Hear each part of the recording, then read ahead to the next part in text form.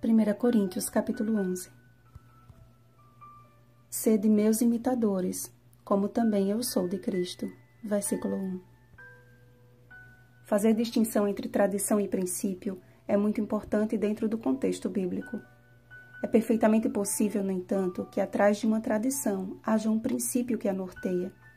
O que Paulo estabeleceu no início deste capítulo não foi apenas uma tradição local que ficou num passado remoto, mas um princípio que não está fundamentado em cobrir ou não a cabeça, mas em levar sempre em consideração a minha forma de adoração.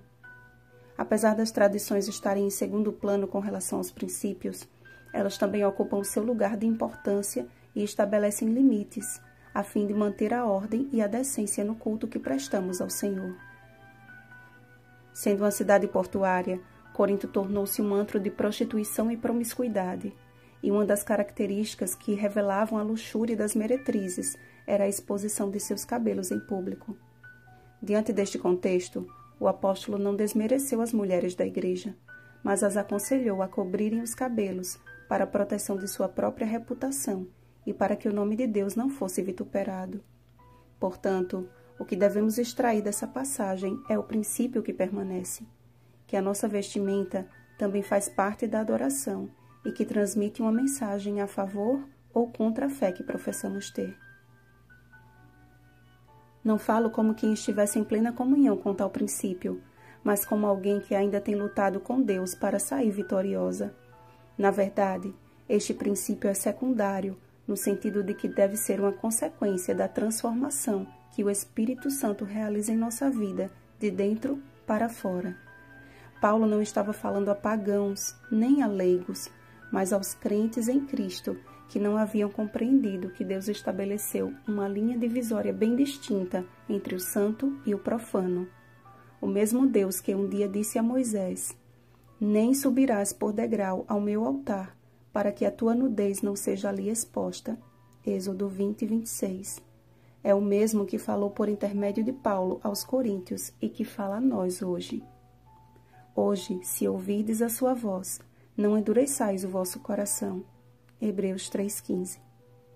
Portanto, o que usamos ou deixamos de usar interessa sim a Deus, e sim, tem total relação com a nossa adoração a Ele. Se mostrar os ombros diante de uma rainha é considerado um insulto, qual tem sido a nossa conduta diante do Rei dos Reis?